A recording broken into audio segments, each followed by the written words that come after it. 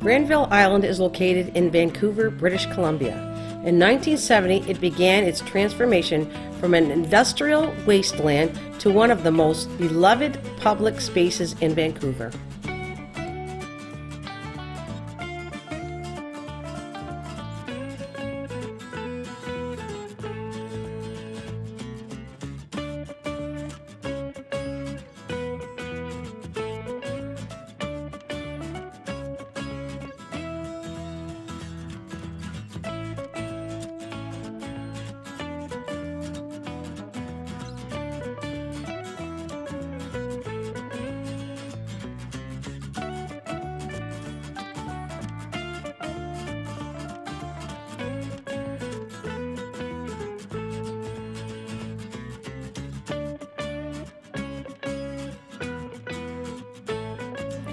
I'd like to introduce you to the part owner of Granville Island Pet Treatery.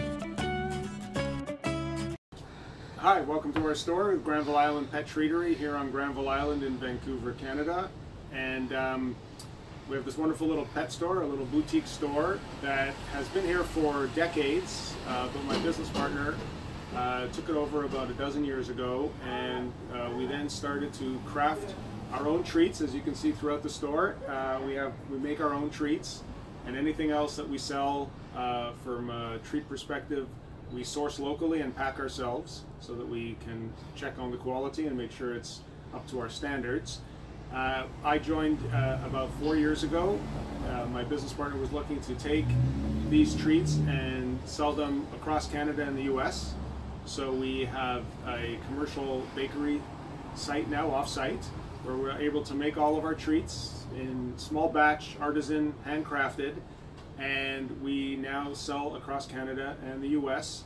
Uh, you may recognize some of the packages. You'll see us in stores everywhere. Uh, we sell also some proteins like sardines and tuna, uh, proudly made here in Canada, and uh, it's been a wonderful experience. We've been uh, growing and taking our ethos of uh, all natural, human grade, wonderful products with fun packaging and bringing it to pet parents all over the place. I have you know two dogs and a cat. Uh, my wife's in the pet industry as well, and uh, it was just a great opportunity, and I really wanted to make this happen. I'd like to thank the owners of Granville Island Pet Treatery for taking the time for me and showing me around.